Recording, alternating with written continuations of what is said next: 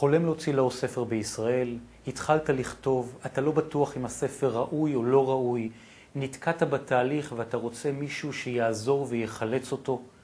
אתה חולם לראות את הספר בסטמצקי או בצומת ספרים, חולם לשמוע את הכרוז בכיכר רבין בשבוע הספר, מכריז בשמך כמי שעומד וחותם על הספר החדש שלך.